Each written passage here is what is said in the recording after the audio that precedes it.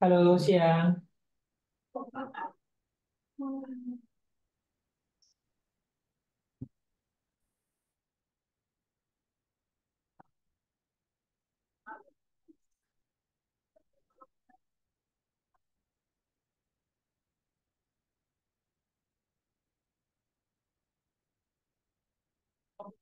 Halo.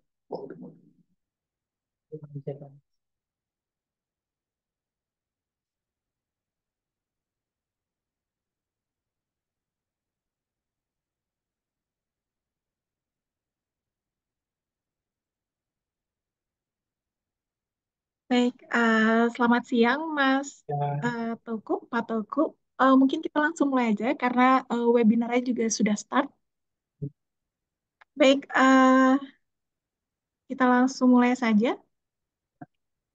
Halo, selamat siang Sobat Genvest. Selamat datang kembali di kelas pasti, kelas paham investasi bersama CGS International Sekuritas Indonesia. Saya Selin yang hari ini akan menggantikan Bapak Ivan Yudani menjadi pembicara di topik sorry, menjadi pembicara di topik kita hari ini, yaitu reksadana solusi investasi untuk masa depan.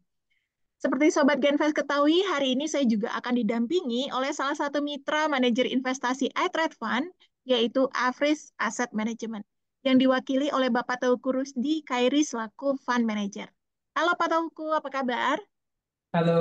eh, Alhamdulillah, selamat siang Pak, Bu, Bu Selin ya. Iya, Alhamdulillah saya baik di sini. Salam kenal eh, Bu Selin. salam kenal juga Pak Tauku, sehat terus ya Pak.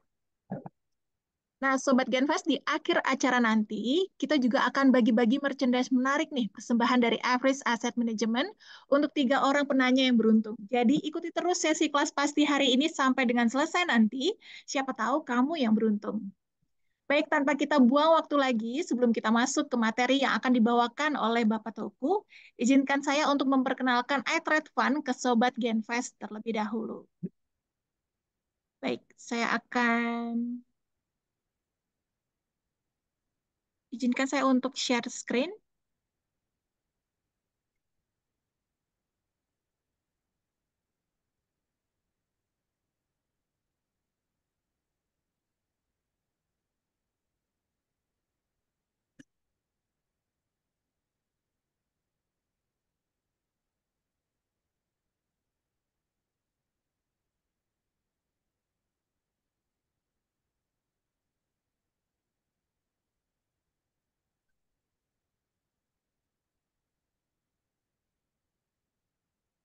Nah, baik.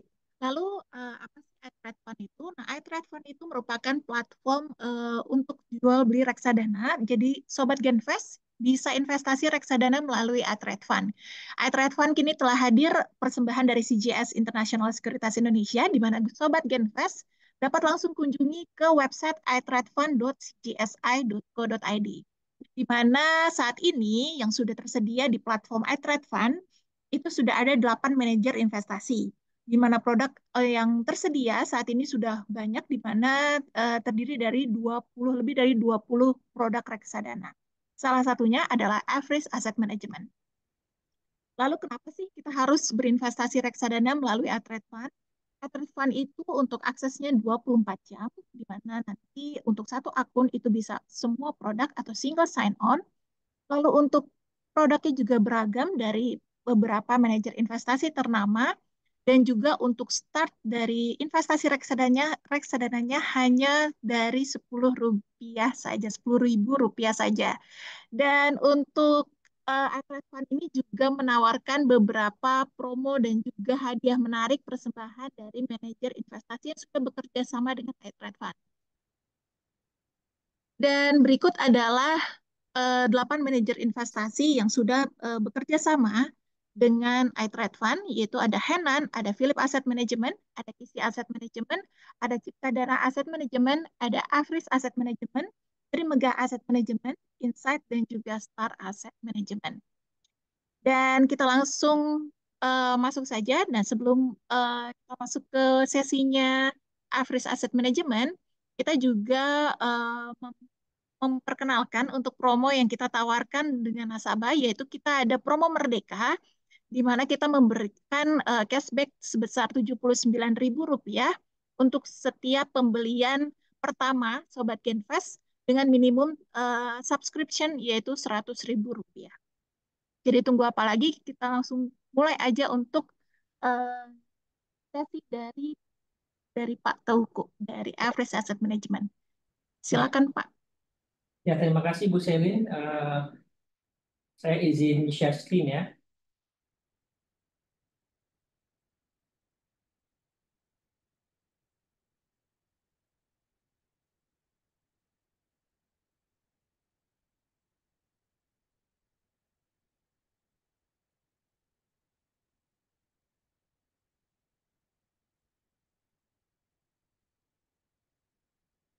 Sudah terlihat uh, share screen saya? Uh, belum, Pak. Belum ya.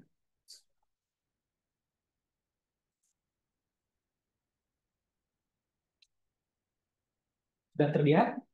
Sudah, Pak. Sudah. Sudah ya. ya.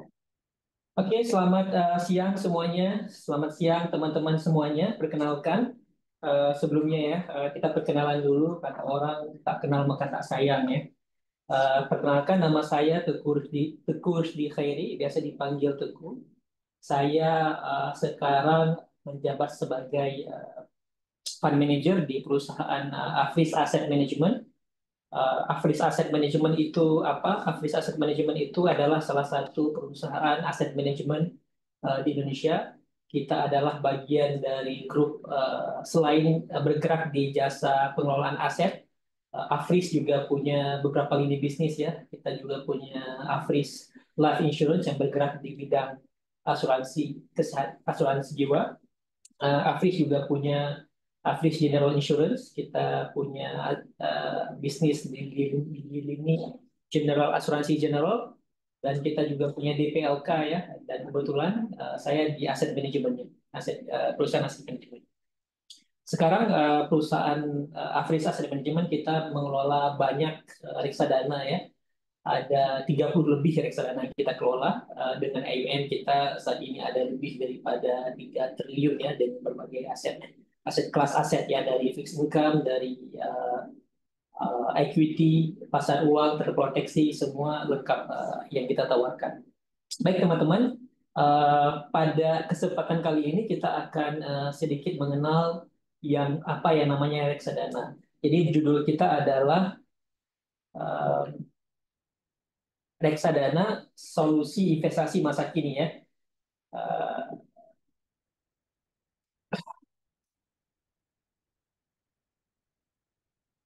uh, intermezzo dulu nih. Uh, kenapa kita mesti investasi ya?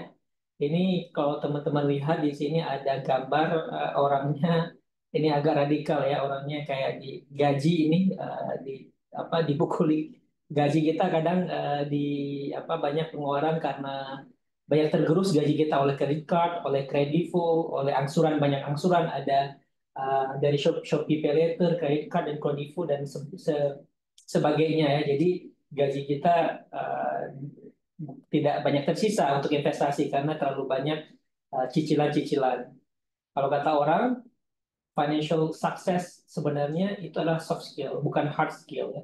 Yang terpenting kalau kata Morgan Housel itu penulis buku dari Psychology of Money, uh, how you behave is more important than what you know. Mengetahui banyak hal itu penting, tapi yang lebih penting adalah uh, behavior kita ya. Karena uh, untuk mencapai kesuksesan uh, keuangan itu 20 persennya itu adalah behavior ya 20 persennya itu knowledge, 80 persennya adalah behavior ya. Jadi kita berharap uh, saat ini kita memberikan uh, knowledge, tapi yang yang yang paling pasti adalah action dari teman-teman semuanya itu seperti apa. Ini ya, termezo. Uh, kenapa kita harus investasi ya? Karena investasi, karena perjalanan hidup itu panjang. Uh, masa depan itu panjang gitu ya Eh, kalau teman-teman lihat di sini ada satu grafis bagus ya. Uh, di X-nya itu ada umur kita ya, umur 18 sampai 25 tahun, 26 sampai 35 tahun sampai 71 tahun. Sedangkan di Y-nya ada ada ada kualitas hidup ya. apa yang kita cari dari hidup, planningnya bagaimana sampai kita mencapai titik tertinggi ya uh, dari kebahagiaan itu the good life-nya. Kalau teman-teman sekarang di umur 18-25 berarti uh, baru lulus kuliah atau mulai bekerja ya saat ini Anda uh, sudah mulai mungkin menyiapkan uh, budget bagaimana lifestyle-nya mungkin baru terbentuk.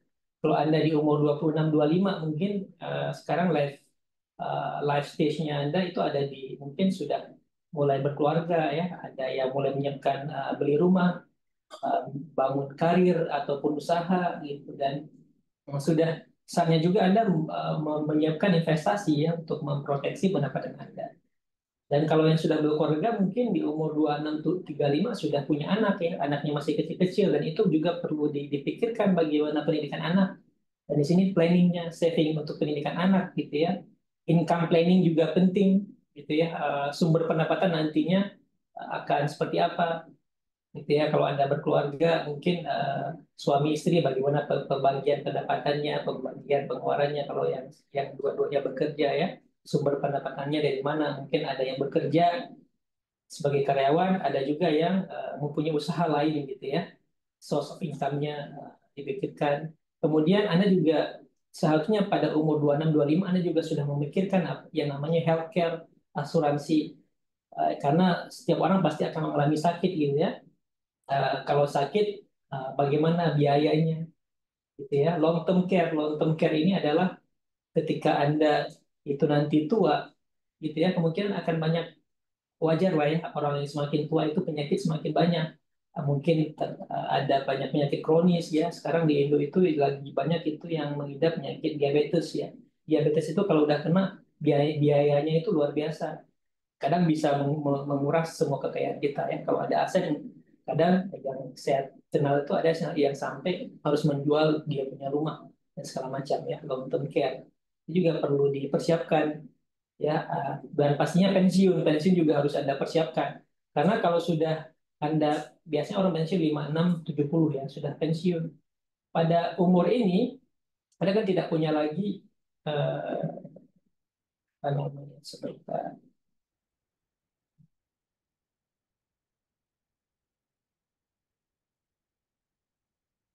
Karena kalau sudah pensiun di umur 5, 6, 70, kita kan tidak punya nggak punya uh, sumber pendapatan pendapatan lain ya. Uh, karena kita sudah tidak, tidak lagi bekerja. Makanya ketika kita uh, produktif lah uh, uh, kita bekerja, kita menyiapkan uh, pensiun kita. saya lagi mencari pointer. Nah, ini ya. Uh, jadi kita ketika pensiun di umur ini, uh, kita sudah seharusnya sudah mempersiapkan uh, masa pensiun kita ya. Sumber pendapatan kita kehidupan sehari-hari itu dari mana ketika kita pensiun. Karena kita tidak lagi produktif, tidak lagi bekerja. Pada umur 71 ini, ini ini sudah well transfer. Kalau kita punya uh, kekayaan, di sinilah kita akan mentransfer pihak kita kepada anak-anak cucu kita. Jadi hal kenapa kita perlu berinvestasi karena perjalanan hidup kita itu panjang dan masa depan itu kadang menawarkan uh, memberikan kita kompleksitas kompleksitas keuangan gitu ya uh, yang kita tidak tahu apa kompleksitas itu makanya kita perlu berinvestasi. Okay. Next, uh, investing requires knowledge. Ya, investasi itu membutuhkan uh, pengetahuan. Pengetahuan apa? Eh, karena investasi itu selalu ada return, ada risk ya. Sama seperti bisnis, ada keuntungan dan ada risiko-risiko juga dalam berbisnis ya. Uh, risiko dalam investasi itu banyak ya. Saya hanya cantumkan tiga aja yang umum, yaitu market risk. Ya, market risk ini adalah uh, risiko kadang uh, penurunan harga pasar ya, kadang harga saham itu turun. Itu yang nggak bisa dihindari ya. Uh, yang kedua itu ada liquidity risk. Liquidity risk ini ini adalah uh, risiko likuiditas. Uh, misalkan Anda kalau Anda berinvestasi uh, rumah gitu ya, risiko utama rumah itu sebenarnya di liquidity risk. Kalau Anda butuh uang hari ini, belum tentu Anda bisa menjual rumah itu saat ini juga kan ada liquidity risk atau risiko uh, tidak bisa dicairkan secara cepat gitu ya Terus seperti contoh yang paling umum itu adalah rumah. Rumah itu nggak ada likuiditas, risiko likuiditas. Apalagi kalau teman-teman lihat sekarang di Jakarta itu saya banyak melihat orang banyak menjual rumah. Sudah beberapa bulan rumahnya nggak kejual-kejual. Nah, itu adalah uh, salah satu resiko kita punya uh, punya rumah. Kalau saat kita butuh nggak bisa cepat dijual, gitu ya. Karena kadang ada bisa cepat jual tetapi uh, orang meminta dengan harga yang di bawah harga pasar, gitu ya. Itu realitas. Dan yang paling uh, penting, tidak kalah penting adalah legal risk, resiko legalitas. Resiko legalitas ini apakah investasi itu legal secara hukum apa tidak, gitu ya. Uh, karena biasanya kalau orang yang tidak mengetahui uh, legal risk ini akhirnya terjebak pada investasi bodong. Ya. Sekarang kita uh, tahu banyak terjadi di Indonesia ya. Nah, ini contoh ketika kita abai pada resiko terutama orang yang abai kepada risiko uh, legal legal risk ya. Contohnya ini sebenarnya yang namanya investasi bodong itu dari zaman dulu sampai sekarang itu tetap ada gitu ya. Contohnya dalam 10 tahun terakhir itu ada Pandawa Group ya. Ada yang uh, satu company menawarkan bagi hasil 10 sampai 15 persen per bulan ini sudah nggak make sense kalau 10 sampai 15 persen per bulan nggak make sense. Ya, ini ada legal risk. Yang terbaru paling terbaru dulu itu ada yang namanya uh, kasus binomo ya crazy crazy rich uh, kasus investasi bodong ya yang rugi triliunan juga.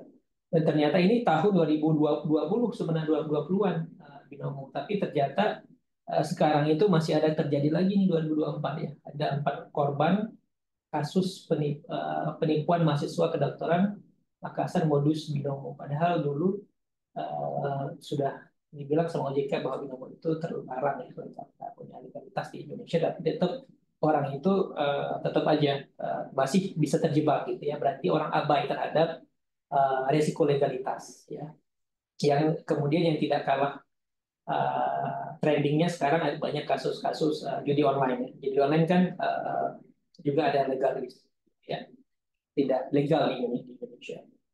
Kadang uh, ada sebagian itu ya menang tapi tidak bisa di, dicairkan hasil uh, ke, apa namanya hasil menang dari gambling itu banyak terjadi. Karena nggak legal di Indonesia. Inilah yang terjadi ketika kita abai pada resiko-resiko uh, yang ada ya. Kemudian uh, apa itu apa itu reksadana ya? Uh, reksadana definisi sekilas ya sejarah reksadana. Reksadana ini secara legalitasnya sangat kuat di Indonesia ya. Berdasarkan undang-undang tahun uh, 1995 ya, sudah ada undang-undangnya sejak 95. Reksadana adalah wadah yang digunakan untuk menghimpun dana dari masyarakat pemodal untuk selanjutnya diinvestasikan dalam portofolio oleh manajer investasi. Nah, di sini Afriz Asset Management sebagai manajer investasi. Ya. Jadi uh, reksadana secara singkat adalah uh, satu rekening ya, kayak rekening bank tapi dalam isi rekening itu adalah aset-aset investasi ya di mana teman-teman di sini dari investor bisa memasukkan uangnya ke rekening tersebut dari berbentuk uang kemudian uang itu akan dikelola oleh uh, manajer investasi. Jadi, ke mana dikelolanya? Bisa berbagai instrumen ya. Bisa ke pasar uang obligasi ataupun ke uh, saham. Nanti kita akan lihat satu persatu. Timeline reksadana ya. Di sini sebenarnya reksadana itu sudah ada sejak abad 18 ya. Jadi 1774 tahun 1774 ini pertama kali diperkenalkan oleh eh, di Belanda gitu ya zaman-zaman VOC ya. Kemudian di uh, abad awal abad ke-18 1868 baru dari Belanda menyebar ke Inggris ke Scotland ya dalam bentuk unit investment trust. Kemudian uh, abad awal abad ke-19 ini 1924 baru dia masuk ke baru masuk ke AS Amerika Serikat kemudian 30 1930 di, di Amerika Serikat mulai ada dibentuk uh, mulai sudah mulai dibentuk undang-undang untuk uh, meregulasi reksadana pasar reksadana. Jadi uh, di Amerika sudah di Eropa dan di, negara-negara baju sudah uh, sangat awal ya mengenal namanya reksadana. Di Indonesia baru dikenal itu pertama diperkenalkan itu tahun 1976 ya awal-awal. Kemudian baru dibuatkan regulasinya di 1995 ya. Jadi sudah berapa tahun ini. Kemudian uh, perkembangan selanjutnya di tahun 2021 dulu pasar reksadana itu diawasi oleh Bapepam LK ya. Bapepam LK kemudian eh, tahun 2009 Bapepam itu eh, wewenangnya itu dikasih ke OJK gitu ya. OJK dibentuk jadi eh, menggantikan Bapepam menggantikan eh, OJK menggantikan Bapepam dan kemudian eh, sekarang eh, tahun 2012 eh, OJK itu sudah banyak memperkenalkan peraturan-peraturan yang sangat ketat untuk meregulasi uh, industri reksadana atau industri keuangan. Kemudian 2013 kalau teman-teman ingat baru muncullah platform-platform digital ya sehingga membuat industri reksadana ini semakin semakin masif, semakin trending, terutama bagi generasi-generasi uh, milenial saat ini ya. Karena semakin mudah untuk berinvestasi reksadana, ya. Uh, dalam hitungan menit Anda sudah bisa uh, berinvestasi reksadana. Dulu sebelum platform digital, untuk berinvestasi reksadana orang harus ke bank dulu, kadang harus ke uh, eh, NI-nya gitu ya, buat uh, form segala macam. Sekarang sudah sudah sangat mudah untuk investasi. Jadi itu sekilas uh, terkait terkait reksadana.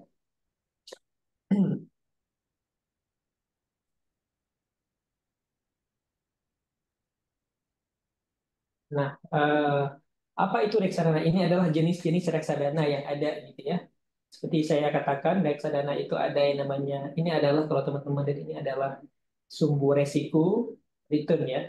Jadi jenis investasi reksadana itu, jenis-jenisnya itu akan berbanding lurus uh, dengan resikonya. Semakin tinggi resiko, ekspektasi return juga semakin uh, uh, besar gitu ya.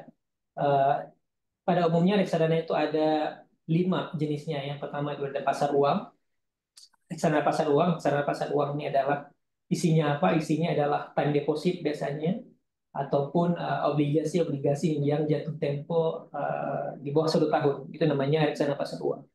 Yang kedua ada namanya reksadana terproteksi. Ini close end ya. Dan dibuka hanya boleh masuk ketika ada jadwal-jadwalnya gitu ya.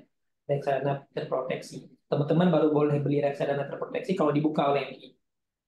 Jadi setelah pada tanggal-tanggal tertentu udah nggak bisa gitu ya, jadi reksadana terproteksi. Yang kedua biasanya isinya ini adalah isinya uh, obligasi gitu ya, ada obligasi korporasi dan segala macam. Yang kedua adalah reksadana pendapatan tetap. Reksadana pendapatan tetap ini uh, isinya apa? Isinya adalah obligasi, ya. obligasi atau surat utang. Bisa surat utang surat utang yang dikeluarkan oleh uh, negara ataupun surat utang yang dikeluarkan oleh perusahaan ya korporasi. Jadi bisa corporate bonds ataupun bisa government bonds. Kalau obligasi bahasa Inggrisnya bonds ya. Bisa kalau obligasi negara biasanya di Indonesia disebut dengan SUN ataupun SBN ya surat utang negara. Kalau obligasi korporasi biasanya dikeluarkan oleh korporasi gitu ya. Bisa campuran. Campuran ini adalah uh, campuran antara pendapatan tetap dan saham gitu ya. Biasanya 50-50 ya.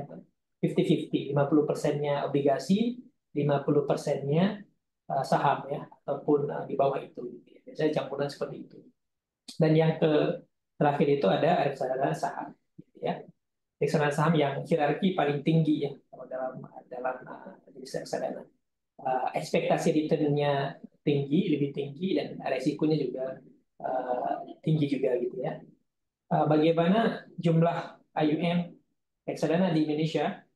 Ini adalah uh, saya ambil di melalui Investa ya uh, per Juli 2024 ini adalah IUM-nya jadi IUM itu adalah nilai kelolaan ya ada pendapatan tetap proteksi saham pasar uang campuran lain-lain. Lain-lain di sini adalah reksadana ETF uh, diri dan indeks fund ya. uh, saat ini memang uh, reksadana yang paling besar IUM-nya nilai kelolaannya adalah pendapatan tetap ya ada 142 triliun. Ini triliun. Jumlah reksadana yang ada itu ada ratusan ya untuk pendapatan Terproteksi juga lumayan cukup cukup gede ya, ada 101 triliun. Biasanya yang beli terproteksi ada bank-bank, ada institusi, gitu ya. retail juga banyak sih yang masuk. Ini kemudian saham, saham itu ada 83 triliun. Jumlah reksadana saham juga sangat sangat banyak ya. Ada 200 lebih kalau nggak salah reksadana saham yang ada saat ini ya. Pasar uang, pasar uang secara IM juga gede ya. Ada 80 triliun. Uh, jumlah reksadana juga sangat besar ya ada ratusan ratusan reksadana yang ada di pasar uang campuran campuran tidak uh, secara IM lebih sedikit ya ada 29 triliun jumlah reksadana campuran juga lumayan banyak di Indonesia teman-teman sekalian ini lain-lain ini ada 44 uh, triliun ya ini termasuk yang saya sebutkan ini indeks one gitu ya ya jadi jumlah IUM nilai keluaran reksadana itu uh, cukup besar cukup besar ya dan terus berkembang setiap setiap tahunnya.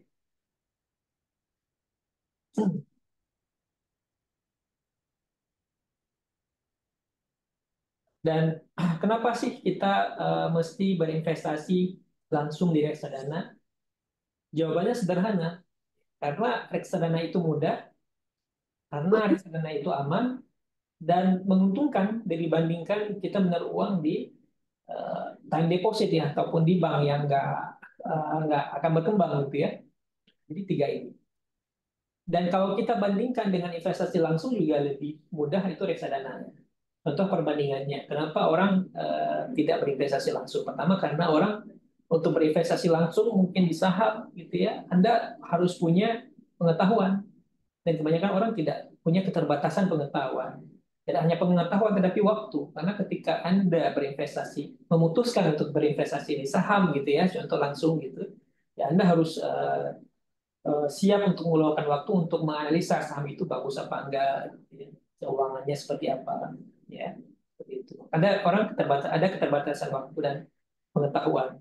Kalau di investasi di reksadana itu dikelola oleh uh, eh, MI kalau MI kan sudah spesialis Eh, kerjaan pekerjaannya sehari-hari adalah uh, melihat pasar gitu ya, menganalisa uh, pasar saham, pasar keuangan di Indonesia. Jadi waktunya memang dedicated untuk melihat itu gitu ya. Yang kedua ada keterbatasan informasi. Dan informasi di pasar uh, keuangan itu sangat penting gitu ya. Kadang investor retail tidak punya akses untuk informasi gitu ya. Kalau di MI kita MI itu punya banyak akses di informasi. Kadang MI itu uh, kita punya bisa set visit ke company-nya gitu ya. Bisa langsung bertanya ke ke direkturnya kadang banyak dapatkan riset-riset ide-ide dari broker dan segala dan segala macam gitu. Jadi akses informasi di MI itu luas. Yang ketiga kalau kita investasi langsung ada keterbatasan dana gitu ya. Kalau di reksadana investasi minimumnya sangat terjangkau.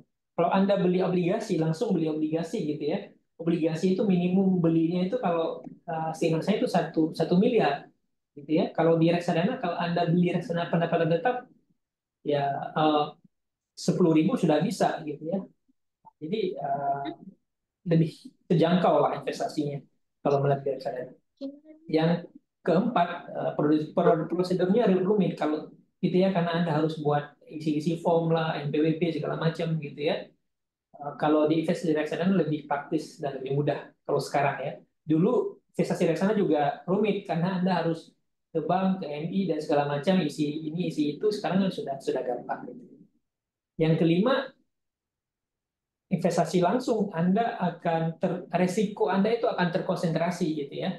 Kalau Anda beli satu miliar obligasi gitu, misalkan obligasi company A, jadi Anda terkonsentrasi hanya di company A itu resikonya. Kalau si company A ini misalkan gagal bayar segala macam ya uh, hilang semua duit Anda. Kalau di reksadana kita resiko kita kita diversifikasi. Uh, kadang kita maksimum pendapatan satu emiten gitu maksimum cuma 10%. Jadi memang diwajibkan secara undang-undang untuk mendiversifikasi resiko. Jadi ketika ada problem di satu company kita nggak langsung habis gitu, uh, nggak langsung kena gitu portofolio. Jadi ada diversifikasi resiko gitu ya. Nah, jadi ini adalah kenapa uh, mesti investasi di reksadana. Jadi reksadana bisa saya katakan adalah uh, salah satu instrumen paling mudah, apalagi baru, buat orang yang baru mengenal dunia investasi. Itu sangat uh, sangat dianjurkan untuk masuk ke uh, reksadana gitu ya. Uh, kemudian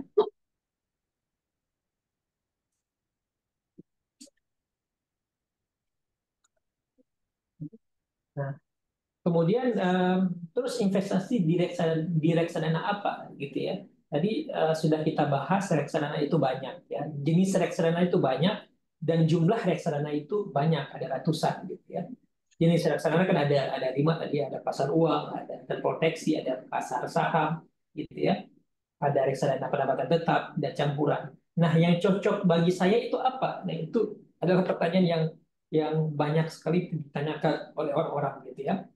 Sebenarnya uh, memilih investasi itu uh, harus sesuai dengan profil risiko uh, kita sendiri gitu ya. Dan biasanya profil risiko itu setiap orang itu unik gitu ya. Cara mudah untuk melihat profil risiko orang ya dari life stage-nya gitu ya. Misalkan ada orang yang baru early career gitu, itu umur 25 umur 25 gitu ya atau 20 25-an lah lebih karir ya. Ada yang baru baru berkarir gitu. Biasanya orang-orang anak muda ini yang lebih karir itu punya risk appetite-nya itu tinggi gitu ya, high. Karena high, karena kenapa high? Karena kalau dia investasi di saham, reksadana pasar saham dan uh, pasar lagi lagi resesi gitu ya, misalkan seperti pandemi saat itu, dia masih punya waktu untuk mengembalikan dia punya modal gitu. Uh, seperti kita tahu di waktu pandemi itu pasar saham uh, sempat anjlok, tetapi setelah pasca pandemi pasar saham kembali bergairah dan uh, IHSG seperti kita tahu mulai mulai bangkit gitu ya. Jadi anak-anak muda ini punya waktu dan masih produktif. Jadi risk appetite-nya ini tinggi. Ya. Jadi uh, punya equity exposure-nya tinggi. Ya. Saya bisa katakan uh, mereka masih sanggup lah untuk berinvestasi 80% asetnya di saham. Debt exposure-nya low to medium. Gitu ya. Cash exposure-nya juga rendah.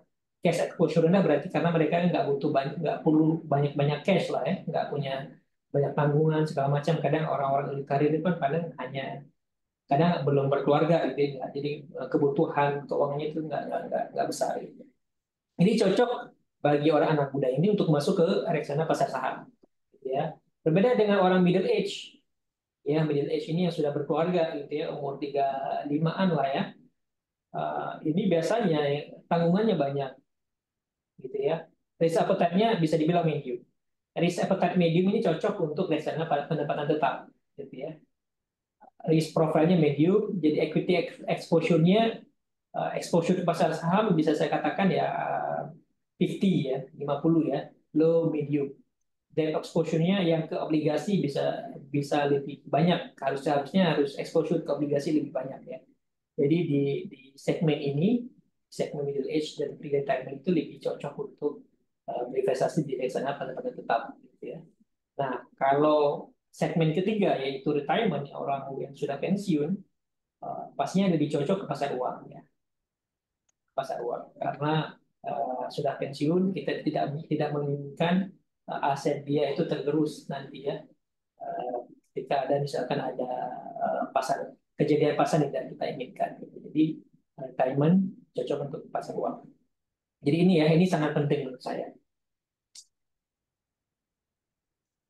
Um, saat ini di Afis uh, kita ada dua ya dan dua reksadana, yang lagi trending di Afris sebenarnya yaitu Afris Emerald Stable Fund. Ini adalah uh, reksadana pendapatan tetap ya. Pendapatan tetap yang baru kita tawarkan itu baru kita launching Januari 2024 ya. Uh, ini teman-teman kalau lihat. Uh, jadi kebijakan total AUM saat ini ada 61 miliar. Kebijakan investasi kita 80 sampai 100% persen di pendapatan tetap dan selebihnya di pasar uang ya. Cocok untuk siapa uh, fund ini menurut uh, saya menurut kami ini cocok untuk sebagai tabungan pensiun kita, kemudian tabungan pendidikan anak dan diversifikasi aset ya. Dari sisi return uh, bagaimana dari sisi return menurut kami sangat oke okay ya. Year to date ini year to date ketika uh, uh, per 29 Januari ya jadi sebenarnya bukan belum sampai satu tahun ya ini uh, sudah mencapai hasil investasi sekitar tiga tiga koma tiga persenan ya tiga koma empat persen ya tuh ini kinerjanya. Uh, jadi kalau kita setahunkan gitu ya bisa ini enam bulan enam bulan sekitar eh, tiga dua tujuh ya. Jadi kalau kita setahunkan sekitar tujuh persen lah per tahun gitu ya. Kalau kita bandingkan dengan tulang tulang ukur lebih uh, lebih tinggi ya. Jadi uh, target kita return Emerald Stable Fund sekitar 7% uh, per tahun. Ya. Dari sisi pergerakan NAB sangat uh, sangat oke okay ya. Kalau kita teman-teman lihat di sini NAB-nya seperti pasar uang yang terus melonjak gitu ya. Jadi makanya oleh karena itu uh, saya katakan uh, fund ini cocok lah untuk uh, tabungan pensiun Anda, tabungan pendidikan Anda, ataupun diversifikasi risiko karena volatilitas fund ini sangat minim. Gitu ya. Kemudian fund kedua kita yang lagi trending itu adalah Afris Adakas Mutiara. Ini adalah jenis uh, pasar uang ya. Jadi cocok uh, cocok buat siapa? Uh, Afris Adakas Mutiara ini cocok buat jangka pendek ya. Kalau teman-teman punya cash di bank gitu ya, nggak yang nggak dipakai gitu selama lima bulan ke depan atau enam bulan ke depan, menurut saya lebih baik uh, taruh di reksadana ya. Reksadana Afris Adakas Mutiara sangat sangat cocok lah. Karena apa? Karena dari sisi return, return yang ditawarkan juga di atas deposito ya, deposito bank. Kalau teman-teman lihat di sini, returnnya satu tahun sudah lima persen ya. Satu tahun. Ini net. Net ya. Kalau teman-teman ke bank, ditawarkan bunga misalkan 6% itu belum termasuk pajak gitu ya. Pajaknya 80%, 20% pajak kalau deposito. Ini belum net. Ini sudah net 5%. Sudah net pajak, net uh, fee dan segala macamnya. Uh, eh, AUM-nya bagaimana? AUM-nya juga cukup besar. Uh, Afis Adakas Mutiara ini kita punya AUM sekitar 165 miliar ya. Uh, fund ini sudah kita launching sejak 2017 ya sudah lama, lumayan lama. Uh, itu dan dari sisi pergerakan NAB-nya kalau teman-teman lihat ini sangat bergerak terus ya ini ada NAB-nya bergerak terus uh, jarang tidak volatile ya tidak volatile jadi memang cocok untuk jangka pendek ya itu yang terakhir yang ingin saya sampaikan bahwa uh, building wealth uh, itu adalah 20% knowledge, 80% behavior. Yang terpenting adalah ketika kita mengakumulasi kekayaan itu adalah behavior kita ya, lifestyle kita, uh, disiplin kita terhadap budget dan segala macam. Itu yang paling penting. 20% ini hanya math dan knowledge. Saya kira itu yang bisa saya sampaikan. Nah, Bu Selin, saya kembali saya kembalikan lagi ke Bu Selin. Oke, baik. Terima kasih Pak Teguh untuk ilmunya. Uh, mungkin sebelum kita masuk ke sesi Q&A ini Pak, saya mau tanya dulu nih untuk Pak Teguh mengenai produk yang tadi dipresentasikan. Itu sangat-sangat menarik ya Pak.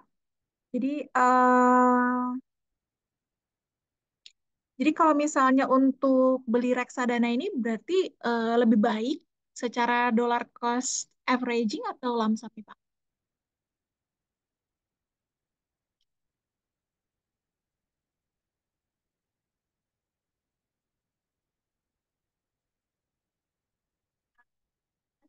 Sepertinya.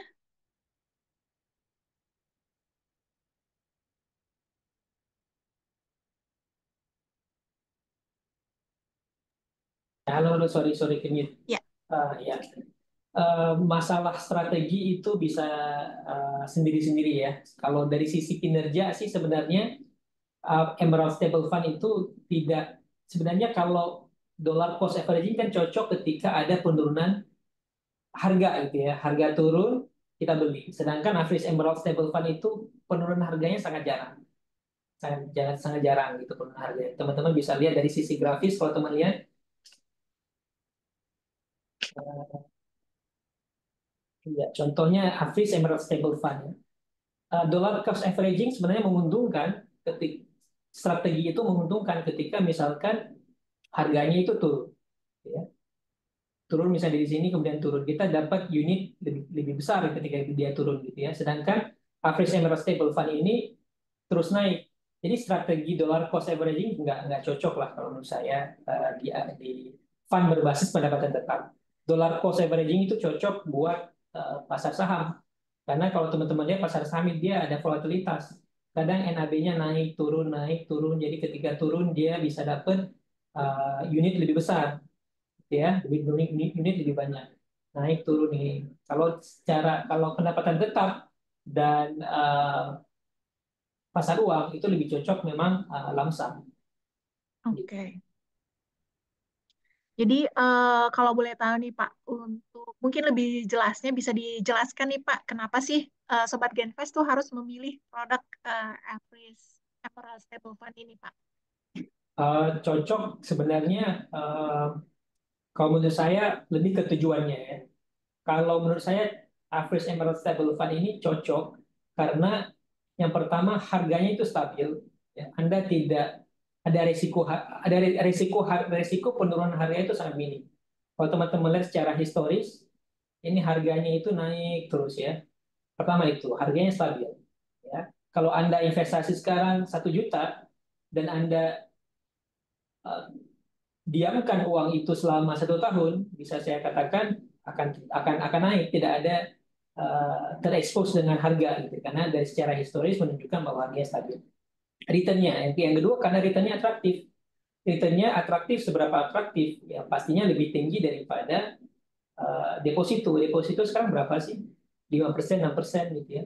Sedangkan average emerald stable fund ini kita menawarkan sekitar target kita returnnya sekitar eh, tujuh persenan ya secara historis ini kalau kita setahun kan sekitar enam enam setengah sampai tujuh persen net dan itu kan lebih tinggi daripada deposito gitu ya makanya uh, di sini kita katakan bahwa average emerald stable fund ini cocok buat tabungan pensiun kita gitu ya. Ataupun tabungan pendidikan anak itu cukup cukup cocok gitu ya. Misalkan buat pendidikan anak kan sekarang harga kuliah gitu ya biaya kuliah kan sekarang setiap tahun itu naik gitu ya. Naik berapa? lima persen enam persen karena per tahunnya. Kalau ada reksadana yang bisa menawarkan uh, di atas itu ataupun at least setara dengan itu itu itu sangat cocok untuk tabungan pendidikan kita ya tabungan pendidikan anak uh, saya kira itu Oke, baik. Terima kasih Pak Tuku untuk penjelasannya. Sangat-sangat jelas.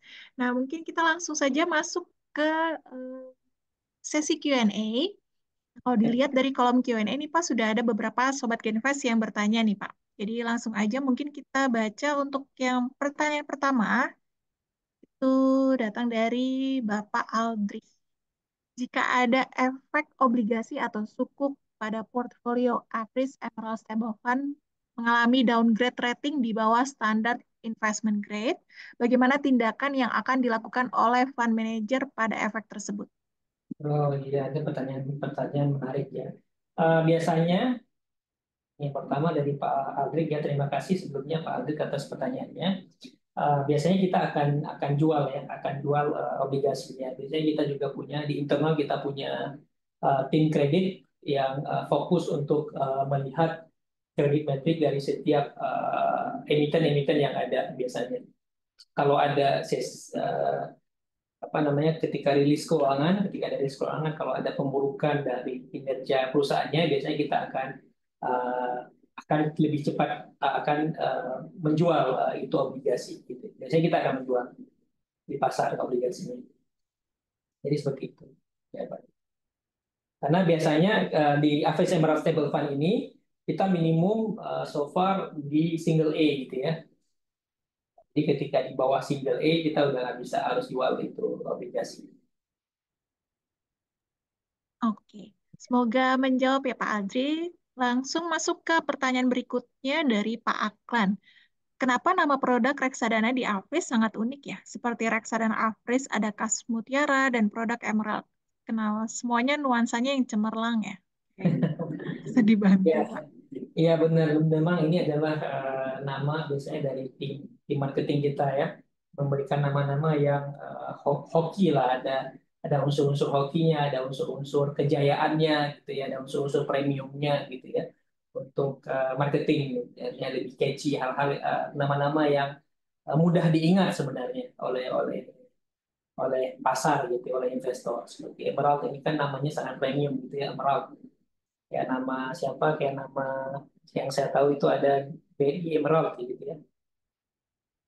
Kas Mutiara Kas Mutiara juga sebenarnya uh, dari dari uh, dari marketing kita yang supaya uh, mudah diingat oleh investor sekira itu Pak Oke baik Nah ini ada pertanyaan juga nih Pak dari Pak Randy saya mau tanya kalau RDPU itu bisa gak bisa nggak sih returnnya minus atau udah pasti akan naik terus walaupun perlahan?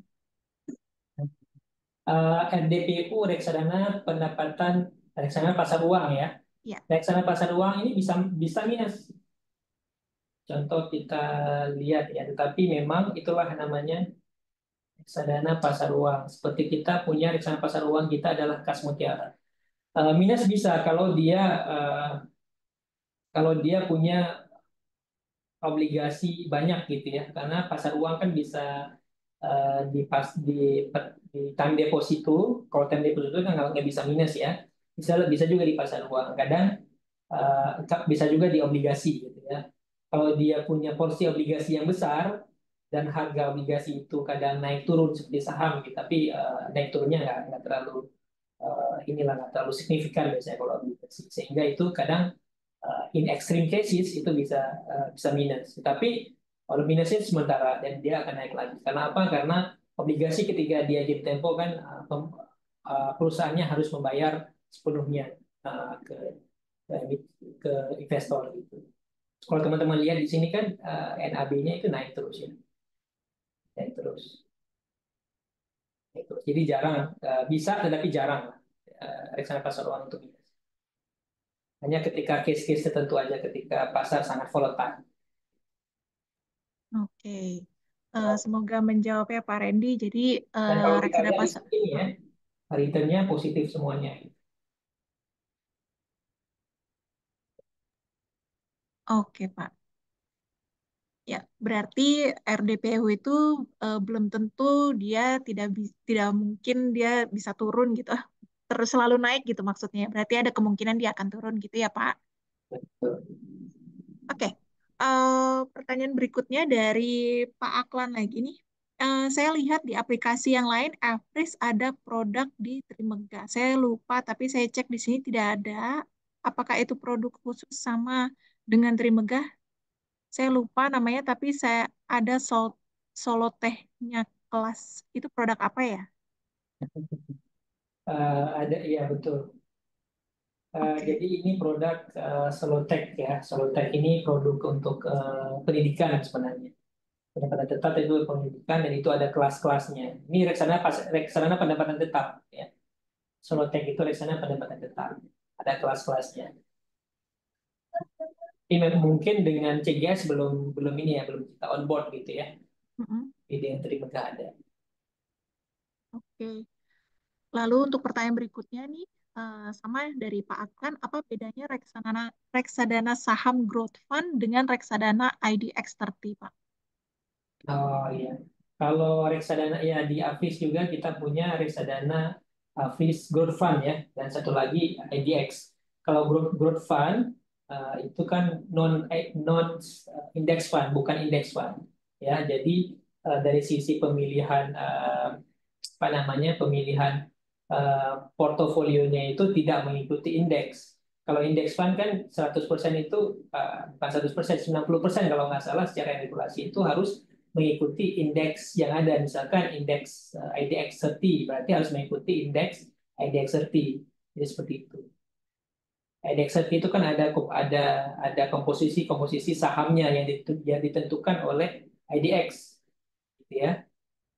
Dan kita kalau buat indeks fund reksadana indeks ya, kalau kita memutuskan untuk buat IDX jadi dia mengikuti IDX, IDX uh, pemilihan sahamnya mengikuti IDX.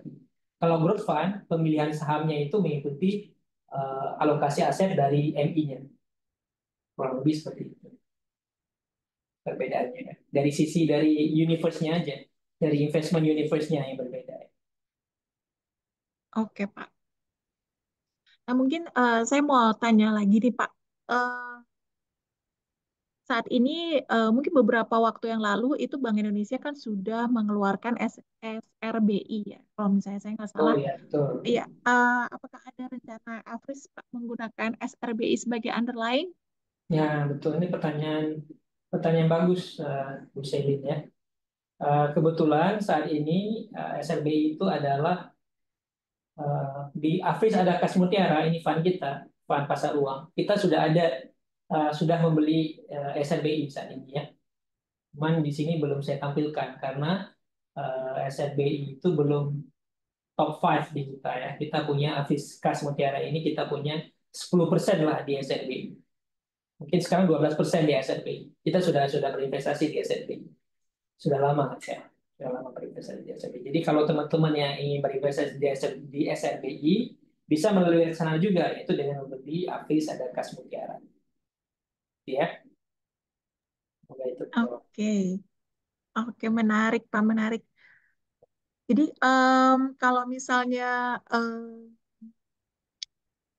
kalau misalnya untuk informasi uh, mengenai The Fed nih Pak, kalau misalnya The Fed kan uh, rencananya dia akan menurunkan suku bunga ya, atau mungkin sudah. Jadi uh, nanti impact-nya itu ke produk Avis itu apa Pak? Bisa dibantu jelaskan Pak? Ya betul, impact-nya itu yang sangat berimpact itu adalah produk income memang. Produk Avis Emerald Stable Fund, tetapi ini korporasi ya. Tapi yang lebih impact itu adalah produk reksadana pendampingan tetap khususnya yang uh, underlying-nya adalah obligasi negara. Itu sangat impact sangat akan terkena impact ya. Obligasi korporasi juga akan akan terkena impact ya, positif dari kalau uh, the Fed itu menurunkan suku bunga. Ya. jadi uh, reksadana yang paling kena impact adalah kalau kita lihat jenisnya adalah reksadana, reksadana berbasis pada tetap ya. Kalau di kita berarti di Avis Emerald Stable Fund itu akan impact-nya positif dan kita juga punya Avis Prime Bond Fund, kita punya itu, itu underlying-nya adalah obligasi negara, itu akan punya impact positif juga, gitu ya. Yang kedua, pasar uang juga akan uh, impact positif karena kita juga punya obligasi, gitu ya. Jadi impact-nya di dua ini. Saham, saham juga uh, kemungkinan juga akan kena impact ya. Kalau kita lihat sekarang kan pasar saham juga sangat rally ya dalam beberapa hari terakhir ya. Karena kenapa? Karena kalau di Fed itu menurunkan suku bunga, artinya borrowing cost itu akan turun. Kalau suku bunga turun berarti uh, biaya perusahaan juga akan ikut turun. Ya, kurang lebih seperti itu. Jadi ya, hampir semua uh, jenis reksadana itu bisa terdampak positif dari penurunan suku bunga. Begitu, Bu. Oke, baik. Uh, kasih Pak Toko untuk penjelasannya sangat-sangat menarik dan sangat-sangat jelas. Um, Oke, okay. ini ada pertanyaan satu lagi nih Pak dari Pak Randy. Berapa jumlah total keseluruhan AUM dari produk yang dikelola oleh Afris? Bisa ya. dibantu Pak? Uh, so far uh, per hari ini kalau nggak salah kita sudah total kelolanya ada sekitar 3,5 T. 3,5 T dan jumlah reksadana yang kita kelola itu eh, uh, 30 lebih ya, ya ada 30 lebih reksadana. Oke, dan berarti... paling banyak memang yang paling yang paling gede itu ada di fixed income. Oh, yang paling besar berarti di fixed income alokasinya ya, Pak. Oke, semoga menjawab ya Pak Randy. Mungkin kita uh, langsung aja masuk ke sesi Q&A. Eh, sorry, untuk Q&A ini berarti sudah selesai. Maksudnya sesi pemenang untuk dari Q&A. Nah, jadi kita akan bacakan untuk tiga penanya beruntung yang terpilih memenangkan merchandise menarik persembahan dari Average Asset Management. Yang pertama itu dari uh, pemenangnya adalah Pak Aklan, yang kedua adalah Pak Randy, dan yang ketiga adalah Pak Aldri. Oke, selamat untuk tiga pemenang. Nanti masing-masing akan dihubungi oleh panitia atau tim dari CGSI untuk pengiriman merchandise-nya. Baik, mungkin kita sudah sampai di sesi terakhir untuk kelas pasti hari ini. Sekali lagi saya mengucapkan terima kasih banyak untuk Pak Teku untuk waktu dan penjelasannya di kelas pasti hari ini. Sangat-sangat uh, informatif, sangat-sangat komprehensif untuk penjelasan reksadana. Semoga untuk Sobat Genvest langsung saja mulai investasi reksadana Average Asset Management yang sudah tersedia di iTrade Fund. Jadi langsung saja masuk ke website itradefund.cgsi.co.id. Terima kasih sekali lagi saya ucapkan kepada Pak Teku dan Sobat Genvest lainnya selamat beraktivitas kembali dan sampai jumpa di kelas pasti berikutnya. Selamat siang. Ya, terima kasih.